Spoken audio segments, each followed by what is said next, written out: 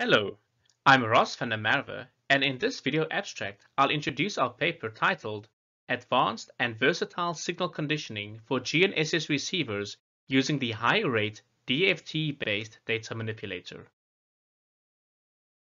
In a typical satellite navigation receiver, the digital signal conditioning is done after the analog to digital conversion. It could address interference mitigation, decimation, resampling, signal corrections, and equalization task to provide the best possible quality signal for navigation processing. Therefore, the better signal conditioning, the better the receiver can acquire and track the satellite signals. This article presents a theoretical foundation and analysis of the high-rate DFT-based data manipulator, HDDM. The HDDM uses a Fourier transform to segment the spectrum into multiple bands and manipulates it. But unlike other Fourier methods, it calculates the transform for each sample offset resulting in high increased processing costs.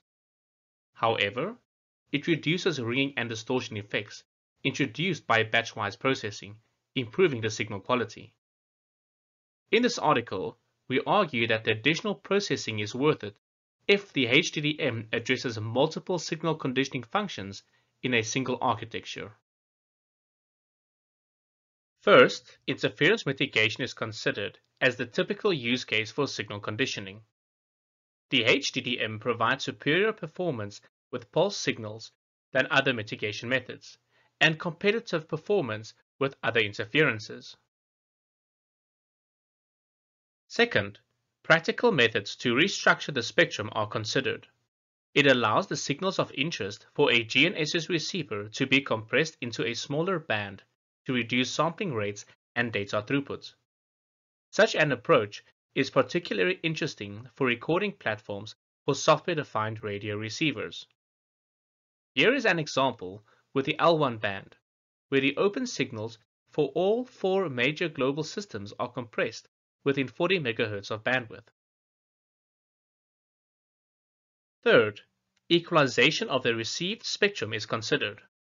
Amplitude and phase distortions caused by the antenna and analog front end results in a distorted autocorrelation function, which degrades navigation processing. This problem is hurtful to wideband and higher order BOC signals. By estimating the frequency response, the signal can be corrected to improve these distortions. Lastly, to demonstrate that the HDDM is a practical method, a firmware implementation shows the real-time operation of the HDDM. Here, the spectrum before and after the HDDM is shown against an exemplary wideband chirp signal. At the same time, almost no reduction in tracking performance of a GNSS receiver is shown. Firmware implementation considerations are discussed in the paper for the interested developer. If the content is interesting for you, you can find more details and analysis in the full article on the Institute of Navigation's website. If there are any questions, please don't hesitate to contact us. Thank you for watching and have a great day.